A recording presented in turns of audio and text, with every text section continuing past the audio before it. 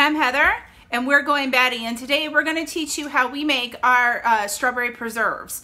Uh, we do not put pectin in our strawberry preserves because uh, pectin a lot of times can add more sugar to it, and I'm trying to limit the amount of sugar that my children have so I don't have to peel them off the ceiling.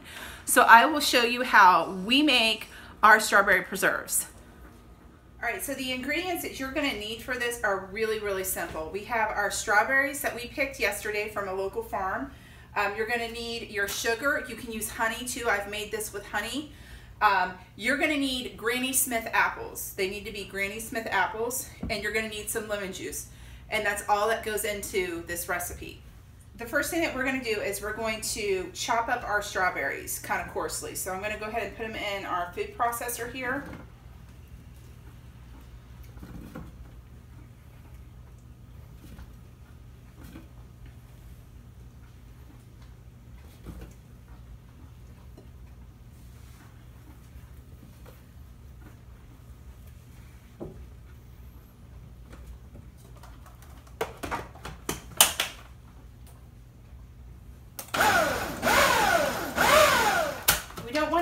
uh, too small because you do want, you know, your bits of um, your bits of strawberries in there. So uh, we're gonna not get them real, real, real small.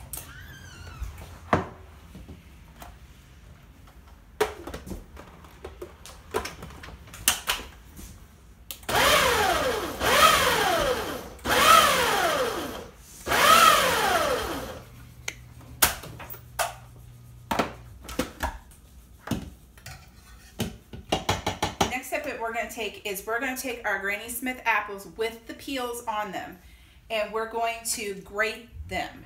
Um, the reason that we're doing that is because uh, they have natural pectin in them. So um, your your your preserves won't be super thick like the ones you get in the grocery store, but it will thicken it up. And we like ours a little thinner anyway. It makes it easier to spread.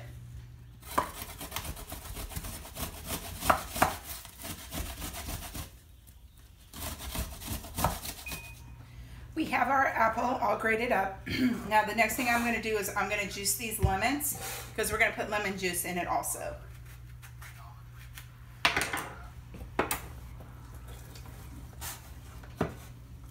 I put the lemon juice in with our apples here. And now we're going to put this in with our strawberries and just mix it up. The next thing that we're gonna add now is our sugar. And like I said, you can also, I've also made this with honey. You can use honey in it as well.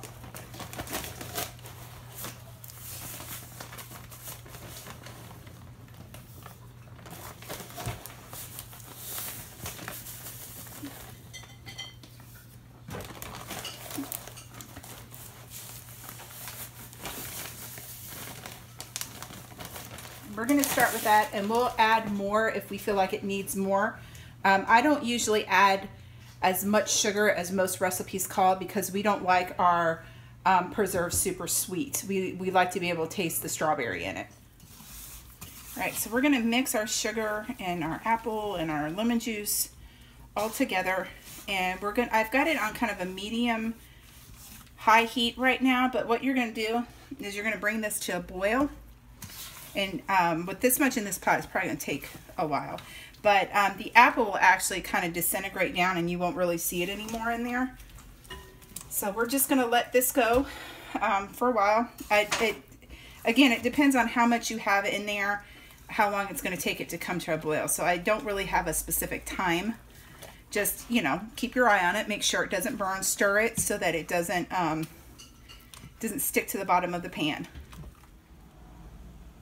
as you can see, it started boiling now. So um, just depending on the thickness of your jam that you want, um, you're gonna, and, and, the amount that you're cooking, it can take anywhere from, if you're doing a smaller amount, like 10 minutes, you'll turn it down to a simmer, um, to anywhere up to like 45 minutes. Uh, just however thick you want your jam, um, you have to keep cooking it until it gets to that, that thickness. And that's kind of where you have to kind of decide what what thickness you want. Now the other thing that we've done is we have put our um, our water bath canner on the stove here and we're getting the water heated up so that uh, you don't want to put a cold jar into hot water and you don't want to put hot product into a cold jar. So we have our um, jar sterilizing in the dishwasher right now. Um, so they'll be, we'll pull them one by one out of the dishwasher and put the uh, jam in it and then put it into the hot water bath. It smells really great in here right now and I'm going to show you, oops, um, our jam. Uh, it's thickened up quite a bit. Uh, it's reduced down. You're going to almost want it to reduce down almost by half. But um, I'm going to show you how to test to see if your jam is ready uh, to be put in your jars and how to know if it's going to set for you. All right, so what you're going to need to test to see if your jam is going to set for you is you're going to need a uh, dessert plate and you're going to need to put this in your refrigerator freezer for about five minutes. And then once you have it in there for five minutes, you'll pull it out. You'll put some of your jam on it, and I'll show you how to do that. And then you'll put it back in the freezer for two more minutes. And that will tell you if your jam is going to set up. All right, so I've pulled our plate out of the freezer. I'm gonna take a little bit of our stuff. I'm gonna put it on our plate, and now I'm gonna stick it back in the freezer again and see if it sets up.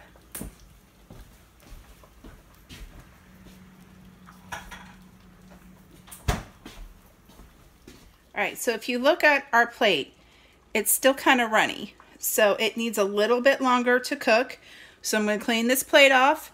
I'm going to put it back in the freezer and we're going to give it a try again. We're going to give it a little while longer. Let this cook a little while longer and we'll give it a try again. All right, so I'm going to show you right now, like if you run your finger through this, it doesn't go back really quickly at all. In fact, it's not going back at all. It's going to take a really long time. So this is ready and we're going to go ahead and we're going to put it into our canning jars. All right, now what I'm going to do is I'm going to turn this off and I'm going to scoop this into my uh, jars here. And I'm going to leave about, I, I only fill them to about that, you can see here, that first line. I'll bring it up closer so you go, ah, it's hot. Like right here to this line. That's where I fill them to, to give them enough headspace so that they don't overflow when you put them into the, the, um, the canner. So I'm going to take a lid and then I'm going to have the ring one. Thank you.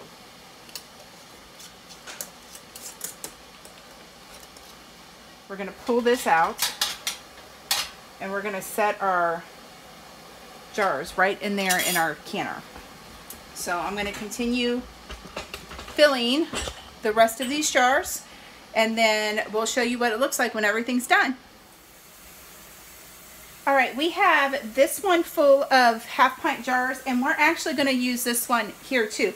Now you can use a regular like stock pot, but you have to have something in the bottom like um like the like an old like what we put in the bottom of ours is what you would use in a roasting pan where it kind of lifts it up a little bit.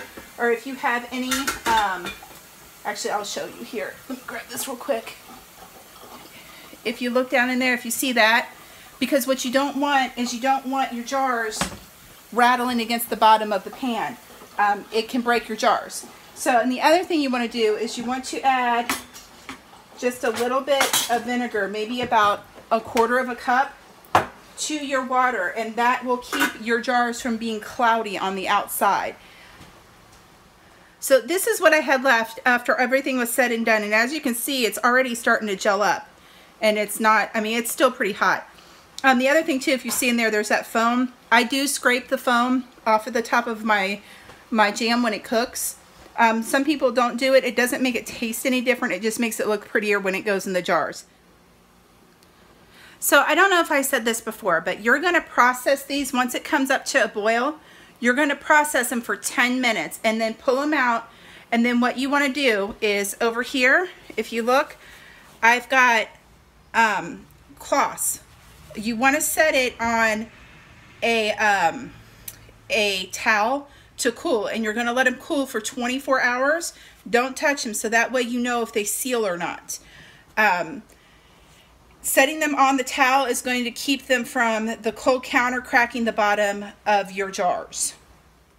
All right so here is our finished project. We have 18 jars of strawberry preserves.